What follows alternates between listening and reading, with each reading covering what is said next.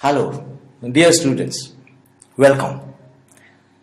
It's expected while listening to this particular lecture that you already understood the principles of general pharmacology, which we did extensively.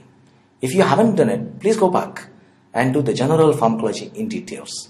And now we are going to overview, we are going to discuss various factors which modify the drug effect, and we are going to listen to some interesting things about the drug development. Factors modifying drug effect, that's the first issue. And we already gone through various factors which can modify drug effect. We're going to take them together now and we're also going to understand some new things. Factors modifying drug effect could be the factors which are related to the patient or could be related to the drug. First we discuss about the patient related factors.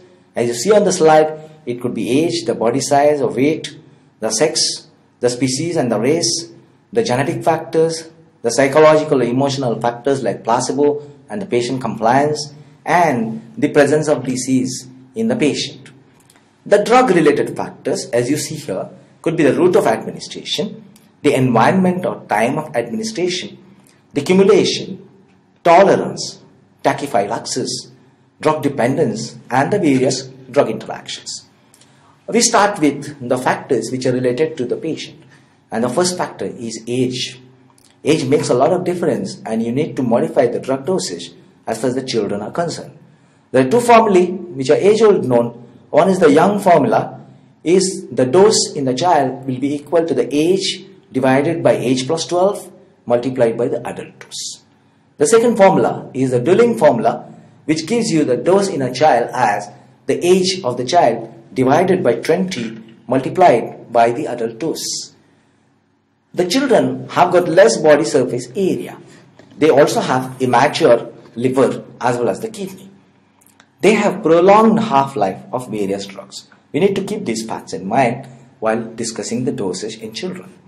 We already discussed an example in general pharmacology. The child has got ill-developed or less developed liver and this is why chloramphenicol may not get conjugated by glucuronide conjugation, might accumulate and might produce gray baby syndrome, especially in the neonates. That's the defective conjugation and excretion.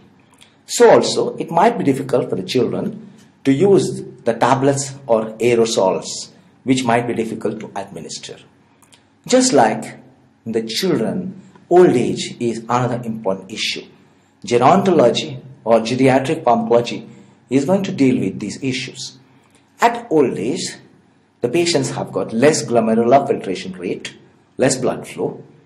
There is likely to be accumulation of various drugs and you're likely to have exaggerated effects of drugs and you might need less doses as compared to the, the patients who are of younger age.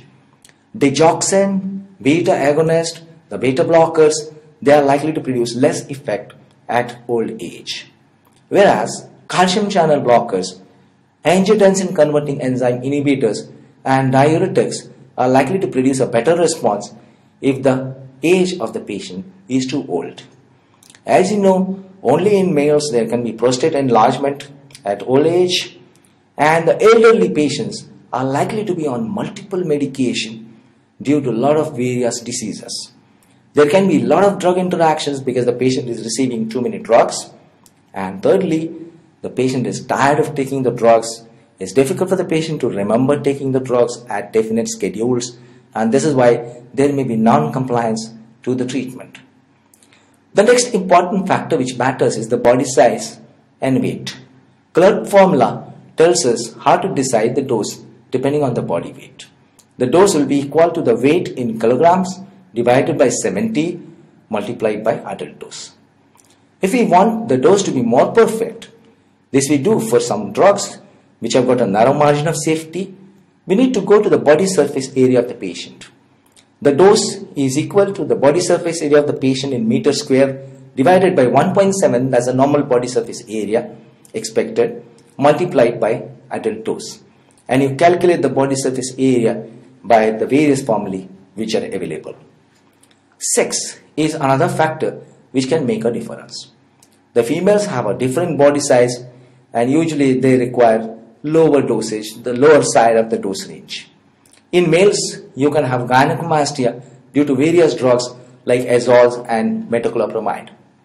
As far as the sex is concerned, pregnancy has got a lot of physiological changes which we need to keep in mind. And when the mother is lactating, she is likely to excrete the drugs through the milk to the infant. And we already discussed in details at least the three A's you need to remember is amiodarone, amphetamine, and androgens. It's very important issue whether I can prescribe a drug to a pregnant woman or not. Based on this, we have pregnancy risk categories and it's pregnancy risk category A, B, C, D or X. We're going to come to it later, but before that just a reminder to you, which we already discussed, the various drugs which can produce structural defects or teratogenicity are thalidomide, anti-epileptics like phenytoin and carbamazepine. You have warfarin, an oral anticoagulant, alcohol producing very severe adverse effect in the fetus, ACE inhibitors producing hypoplasia of various organs, and lithium producing various structural defects. So also you have anti-cancer drugs. Yes, I was saying about the pregnancy risk categories. You can have a look at the slide A, B, C, D and X.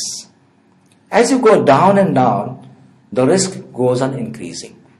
So in the category X, you have estrogens, isotretinoin, and ergometrine, absolutely contraindicated in pregnancy. Whereas you go up and up, you have got safer drugs, comparatively safer, which can be prescribed to the pregnant woman, like, for example, category A is magnesium sulfate injection or thyroxine, and B includes very important drugs which are beta lactam antibiotics, penicillin V, amoxicillin, and the various cephalosporins. Whereas if you go to C, you have your chloramphenicol, which is going to produce gray baby syndrome, which is going to produce abnormalities in the fetus. And if you go to the category D, you have aminoglycosides, except gentamicin, and you also have tetracycline and carbamazepine, phenytoin, valproate, all of them producing fetal hydantoin syndrome. Next, we move on to species and race. The rabbits are known to be resistant to atropine, and the rats and mice are known to be resistant to digitalis. This is about the animal species. But as far as the human beings are concerned, there's a better response in the blacks with diuretics and calcium channel blockers, and in whites, angiotensin converting enzyme inhibitors are known to produce better response. The next important factor is the genetic factor.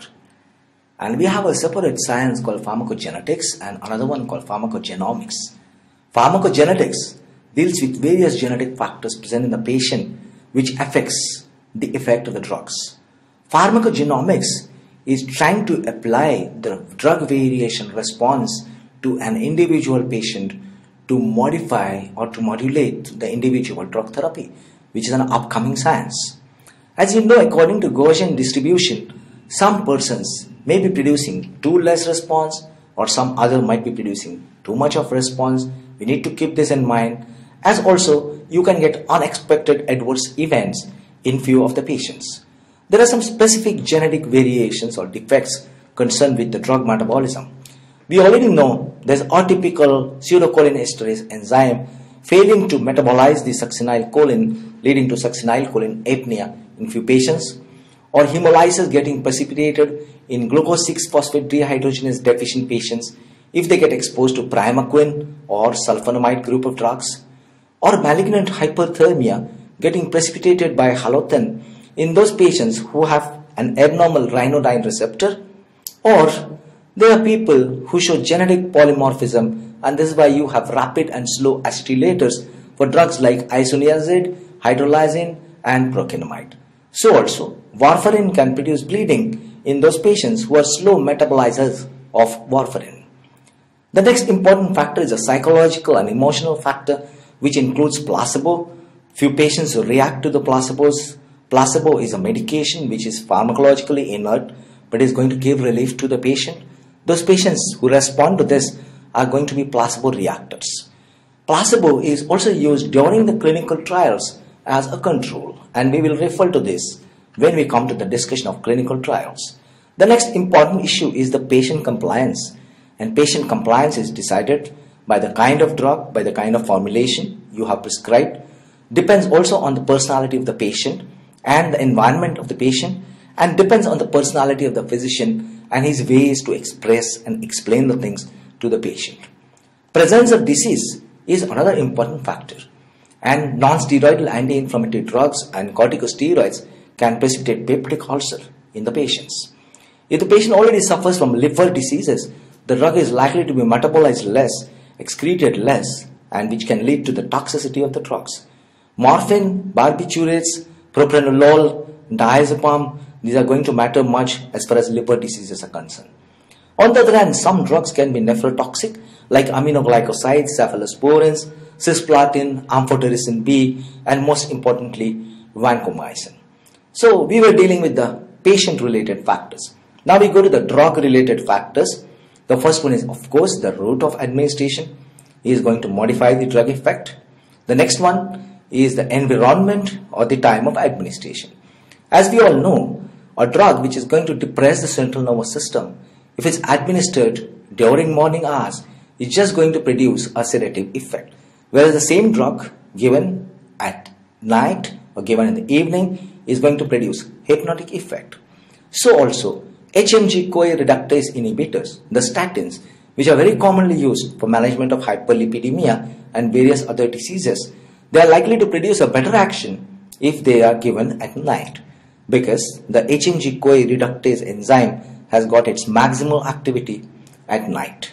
The next important drug related factor is cumulation and we've seen at various places there are drugs like chloroquine, amiodarone, digoxin and DDS, that's dapsone, are the drugs which are going to accumulate. Another drug related factor is tolerance, which is adaptation. When you keep on using the drug for a long period of time, the drug keeps on producing less and less response. The tolerance can be natural in few species and few races, or it could be acquired on repeated long-term use of a medication, which is very classically seen with nitrates, with levodopa, or with alcohol. The next important issue is tissue tolerance, in which few tissues become tolerant and few tissues don't become tolerant. A classical example is of morphine, for which the central nervous system becomes tolerant, and that's why your effects of euphoria go on decreasing when morphine is used over a long period of time, whereas the gastrointestinal tract and the pupils do not become tolerant. And this is why, in spite of taking morphine for a long period of time, morphine addicts will have a symptom of constipation and they are likely to have constricted pinpoint pupils. The next one is called cross tolerance, which could be within the group or outside the group. For example, if you are tolerant to one substance from a particular group, you might be tolerant to all the drugs from the same group.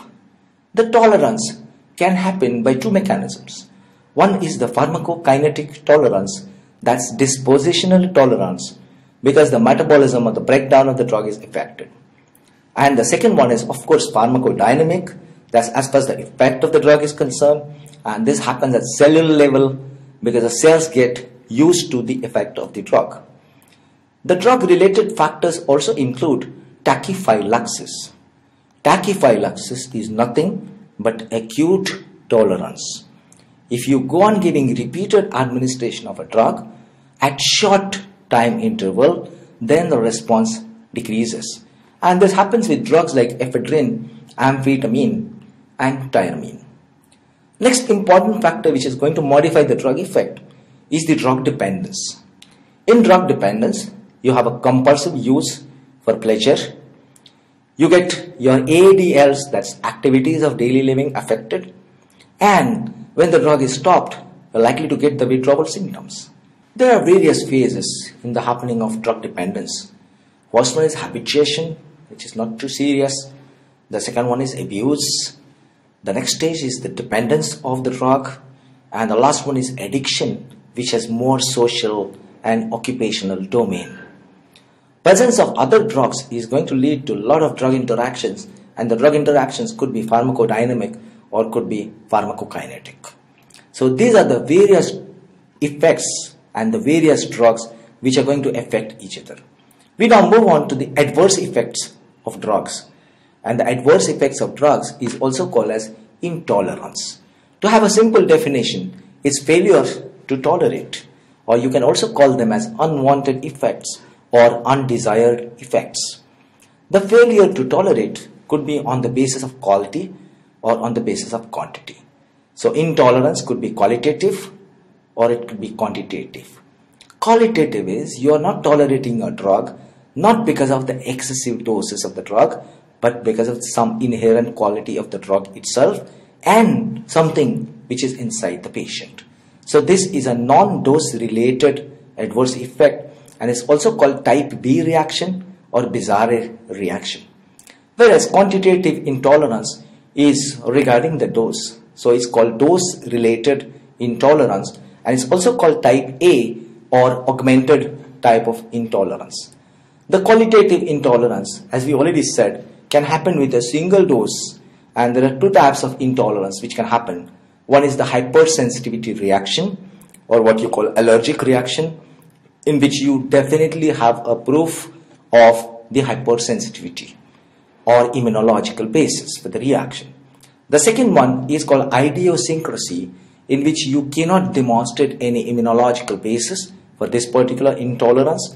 It could be idiopathic that you don't know the exact cause of this or there could be a genetic factor implemented and the patient is genetically predisposed to get this particular intolerance. Hypersensitivity reactions can be classified into type 1, 2, 3 and type 4. Hypersensitivity could be immediate, for example, the anaphylactic reaction to penicillins. Stevens-Johnson syndrome, which could be to sulfa and sulfonamide group of drugs. Then you have delayed hypersensitivity reaction, for example, the maculopapular skin eruption with ampicillin and fixed drug eruption. Regarding the qualitative intolerance, we have idiosyncrasy and we have example of bone marrow separation and agranulocytosis produced by chloramphenicol or hemolysis produced in G6PD deficient patients by a number of drugs like primaquine, sulfa drugs, quinolones, so on and so forth. Now we move to what is quantitative intolerance. And you're likely to come across three different terms. The first one is called side effect, the second one is called untoward effect, and the last one is called toxic effect. Side effect is the one which is mild and which is produced when the drug is given in therapeutic doses. The untoward effect also happens when the drug is given in therapeutic doses, but the untoward effect is quite severe and the patient feels like stopping the drug. Whereas toxic effects are those effects which can happen due to acute overdose of a drug or which can happen on chronic administration of a drug and the toxic effects are quite severe. Depending on if the drug is safe or no, to decide the margin of safety of the drug, we have an index called therapeutic index. And its typical formula is the median lethal dose divided by the median effective dose. Sometimes you can also calculate it by a formula median toxic dose divided by the median effective dose. The drugs which have got very high therapeutic index are supposed to be comparatively safer drugs and they include the penicillins and cephalosporins which are beta-lactam antibiotics, macrolide antibiotics, aspirin, ibuprofen, paracetamol. They are the few examples. The drugs with low therapeutic index include morphine, barbiturates, digoxin and digitoxin, phenytoin, antiarrhythmic agents, tetracyclines and chloramphenicol amongst the broad spectrum antibiotics as well as aminoglycosides and lithium. Now, what's iatrogenic disease? Iatrogenic disease is something which is happening inside the patient, some abnormality happening inside the patient due to the drug administration. So, the disease produced due to administration of drug treatment. This often could happen when corticosteroids are given for a long time, the patient starts showing the manifestations of Cushing's. Or NSAIDs or steroids can produce peptic ulcer Antipsychotic drugs can produce various involuntary movements, including Parkinson-like movement, and isoniazid can precipitate hepatitis. So these are all the examples of iatrogenic disease. Now we're going to discuss how a new drug is brought to the market, which is called evaluation of a new drug, or a very interesting term for this is journey of a drug from laboratory to the ward. Of course, a new drug is first tried and tested in animals. And this is called animal testing, which is required in at least two species. The first one is acute toxicity testing to observe the effects, including the calculation of lethal doses. Then you go for subacute testing, which may last for two to four weeks. And the next one is the chronic toxicity testing, which may last from six months to two years. The purpose of animal testing is to know the pharmacodynamic and pharmacokinetic profile of the new substance, to know about the reproductive toxicity, including teratogenicity and mutagenicity. Ames test decides the mutagenicity and testing for the carcinogenicity. At the end of the animal trials, now we come to know that yes, this drug is ready to use for human experiments, and then we start using it in human beings for experimentation, and it's called clinical trials, is testing of the drug in human beings.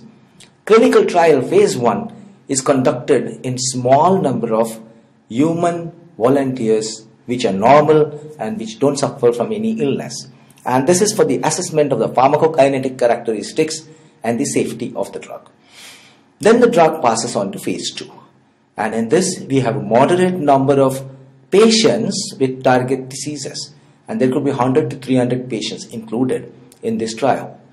A placebo or a positive control is used during these trials and the design may be single blind or double blind. The purpose of phase 2 is to know if the agent has desired therapeutic effects at doses that are tolerated by the patients. I used the words positive control. What's positive control? Is the known standard drug for this particular disease.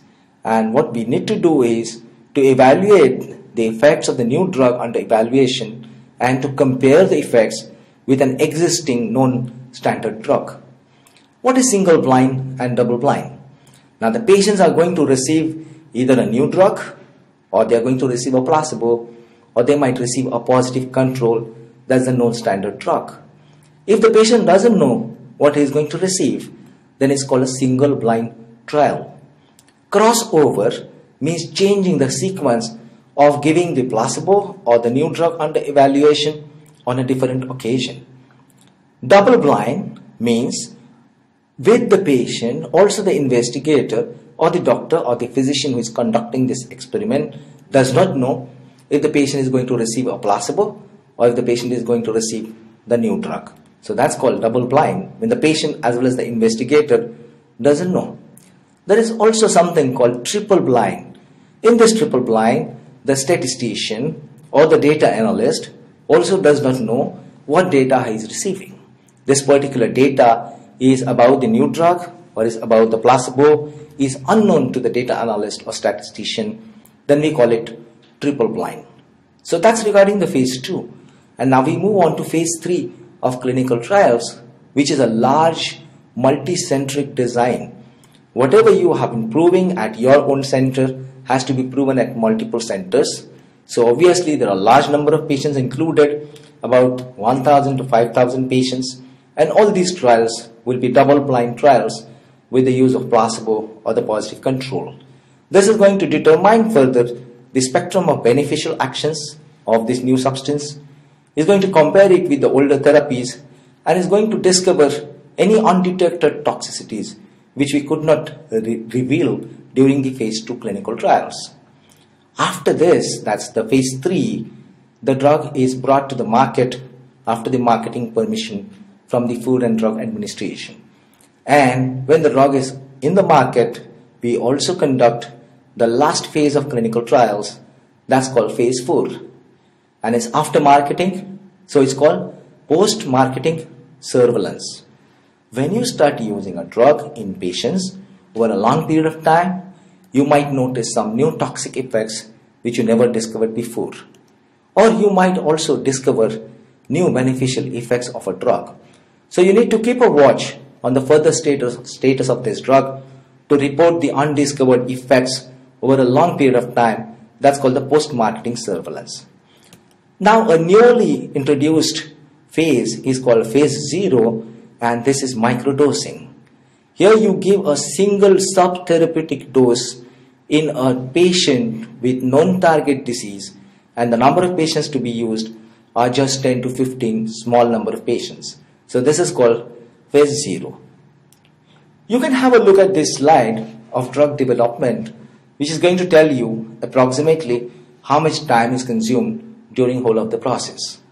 The in vitro studies are carried out for 0 to 2 years. Then the drug goes for animal studies, in vivo studies to know the effects and the kinetics and the toxicity. This might last for another 2 years. So that's from 2 to 4 years. Next, the clinical testing which requires ethical clearance could be phase 1, phase 2 and phase 3 and this is carried out from the year 4 to year 8 to 9 so that's issue of another 4 to 5 years and after the marketing that's the post marketing surveillance. The phase 4 may last for another 10 years. So overall to know everything about a drug possibly to know everything about a drug it could take 20 years or so. What is an orphan drug? An orphan drug. Orphan drug is a drug which is not very commonly used. It may be a drug used for a rare disease that's affecting fewer than 200,000 people, or the drug may be for common diseases, but it's not cost effective to manufacture this drug because this drug is used for an endemic disease which is present only in the resource poor countries. And when you want to manufacture this kind of a drug, it becomes very difficult for the pharmaceutical to manufacture and to bear the expenses. The sale might not pay the cost of the drug development, hence, study of such drugs might get neglected. The tax relief and other incentives are arranged and encouraged to develop the orphan drugs. The next important concept is essential drugs. And according to the World Health Organization, essential drugs are the drugs which satisfy the priority healthcare needs of the population. Only those drugs will be called essential drugs. The use of these drugs should have public health relevance. There should be definite evidence of safety and effectivity. And the use of the drug should be cost effective in the sense that it should be made adequately available. It should be available in appropriate dosage forms in which it could be used. And we should have an assured quality and adequate information about the drug. So that's regarding the drug development, the orphan drug and essential drugs. Now, we are going to discuss pharmacology of enzyme inhibition. It's an altogether different chapter, altogether novel chapter, and I'm sure studying this chapter properly is going to help you a lot to solve your multiple choice questions in various kinds of examinations. If you look to the pharmacology with a bird's view, we are going to understand that there are various number of drugs which act by inhibiting a particular enzyme. It may be in the human being or it may be in the microorganisms. But inhibiting an enzyme itself is a very important mechanism of action of these drugs. So we have a table here, a long table, which is going to tell you about a drug and which enzyme is inhibited. This could be a very relevant and valuable information for you. Enzyme dopa decarboxylase is inhibited by carbidopa and benserazide. So these drugs are combined with levodopa for Parkinson. The enzyme acetaldehyde dehydrogenase is inhibited by disulfiram and various other drugs which produce disulfiram like effect. So you need to keep in your mind that these drugs should not be prescribed if the patient is consuming alcohol or rather when these drugs are prescribed the patient should not consume alcohol. Otherwise, going to get the symptoms of alcohol intolerance. The enzyme alcohol dehydrogenase is inhibited by fomepizole, which is useful in methanol poisoning. The enzyme GABA transaminase is inhibited by valproic acid, a broad spectrum anti-epileptic agent, and non-selective inhibition of monoamine oxidase is done by phenelzine, isocarboxazid, and tranylcypromine. Whereas reversible inhibitors, reversible selective inhibitors of MAO-A are moclobemide and clorgyline. The enzyme COMT, catechol O-methyl transferase, is inhibited by the antiparkinson drugs called tolcapone and entacapone. Statins inhibit the HMG-CoA reductase enzyme. L-aromatase is inhibited by anastrozole, 5-alpha reductase is inhibited by finasteride, and acarbose and miglitol inhibit alpha glucosidase. Coming to some bacterial enzymes, quinolones inhibit topoisomerase 2 or DNA gyrase, rifampin inhibits DNA-dependent RNA polymerase, and ethambutol inhibits arabinosyl transferase. As far as the adrenergic transmission is concerned, the tyrosine hydroxylase enzyme is inhibited by metyrosine.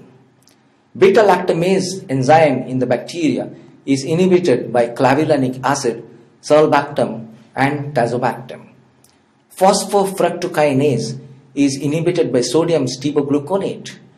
Choline esterase enzyme is inhibited by anticholinesterase agent that's physostigmine, neostigmine, and organophosphorus compounds. Cyclooxygenase is inhibited by NSAIDs and glucocorticoids. Selective COX2 inhibitors are various COXIBs as well as nimesulide and meloxicam.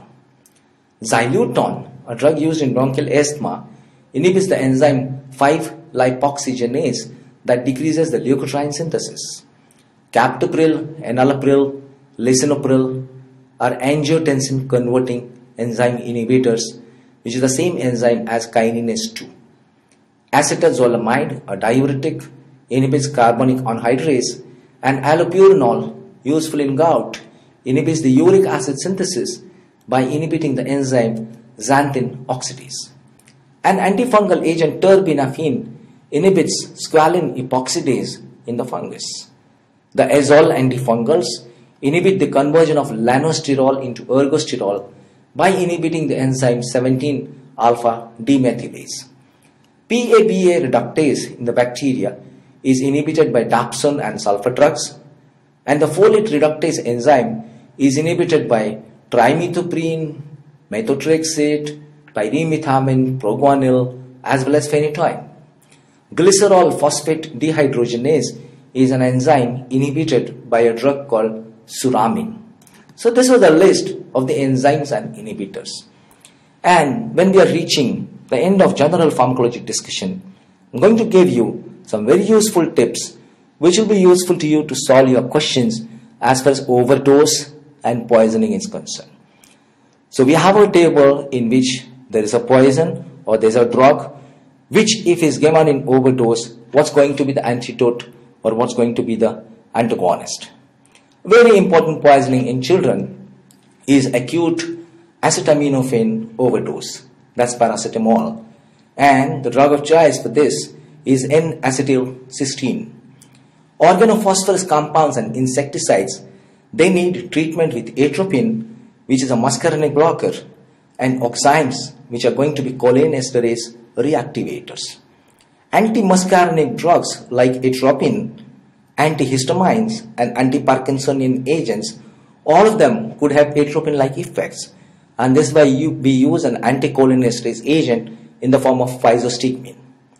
Tricyclic antidepressant overdose is mostly combated with the use of sodium bicarbonate by intravenous route and you could also try physostigmine to block the muscarinic, anti-muscarinic effects. Benzodiazepines and non-benzodiazepines, that's zolpidem and zaleplon, are inhibited by a competitive antagonist called flumazenil. So flumazenil becomes the most important drug of choice for benzodiazepine overdose. By chance, if there's an overdose of beta blockers, you need to give a beta stimulant in the form of isoprenaline and you also need to give glucagon. Carbon monoxide poisoning is treated with oxygen the poisoning with caffeine, theophylline, and beta agonist, the overdose, is treated with esmolol. Digoxin toxicity, we have a specific treatment for digoxin toxicity, and that's digoxin specific FAB antibodies. Opioid overdose with morphine and heroin is dealt with by naloxone. Another choice is nalorphine, but naloxone is a pure antagonist, and this is going to be a better choice. The poisoning by heavy metals like arsenic, gold, mercury, and lead is sometimes encountered, and the drug of choice for all this could be BAL, that's British anti-Lewisite, or dimercaprol. In place of this, you could also use oral succimer for mild lead and mercury toxicity. Lead poisoning is mostly treated with BAL or EDTA. EDTA is also useful against a number of other heavy metals and you could also use succimer for lead poisoning. Copper, iron, lead and mercury you can also treat with penicillamine. Warfarin and coumarins are dealt with by the use of vitamin K and heparins are treated, heparin overdose is treated with protamine sulfate. Now we come to some important poisoning like acute salicylate poisoning, that's aspirin, and we know we don't have a specific antidote. We need to do alkalinization and for which sodium bicarbonate will be useful. So also for acute barbiturate poisoning, there will be sodium bicarbonate useful. Methanol and ethylene glycol overdose is treated with ethanol and fomepizole. Iron and iron salt overdose toxicity is treated with desferrioxamine. Most of the alkaloidal poisonings and the oral poisonings except iron, cyanide poisoning and lithium poisoning or poisoning with solvents, mineral acids and corrosives are dealt with by the use of activated charcoal. Cyanide poisoning is treated with the help of sodium nitrite and sodium thiosulfate. So this was a very important and very useful tip to solve your questions on poisoning, overdose as well as the enzyme inhibition. Thank you very much. I'm sure you will do well with this general pharmacology module. Best of luck.